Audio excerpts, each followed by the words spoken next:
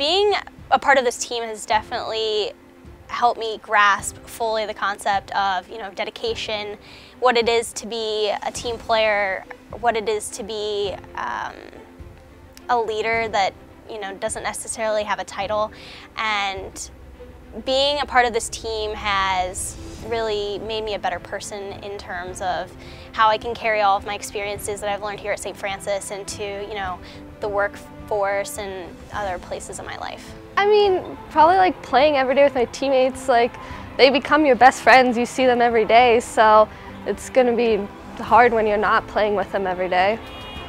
My advice to the freshmen would be, you know, don't lose your passion for the game. Um, sometimes it gets really tedious and, you know, really monotonous going to training every day, going to lifting every day, and you're just like thinking, gosh, like what am I all doing, like putting all this effort in for? And um, ultimately it comes down to the passion for the game and if you continue to put forth that effort, um, you're going to be successful. You're going to be successful for yourself and for your team.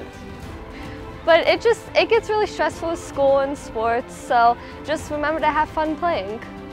Yeah, no, I would think that my favorite moment playing for St. Francis was uh, winning the NEC, and um, that fortunately happened for me my freshman year, and I was fortunate enough to play with some of the best players who came through this program in addition to um, Casey, and we had a very tough uh, season leading up to that. Our preseason was uh, really, really tough. Um, but fortunately, when we won, it was definitely, you know, it paid off. All of our work had paid off, and it was totally worth it and then I guess following up after you know winning, being able to play against the number one team in the nation, uh, who has like national team players on it right now, and being scored against them probably was the most fun that I ever had losing a soccer game. But it was just so surreal. It was awesome.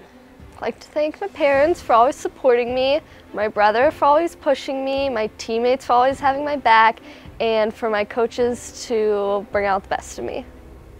So I'd like to thank my parents for their unyielding support. Um, they've been great throughout the whole process, even before coming to, you know, St. Francis and then from the time that I got here to now. Um, I'd also like to thank my teammates, um, even dating back from, you know, freshman year. Everyone was great and um, definitely everyone helped formulate me as a person.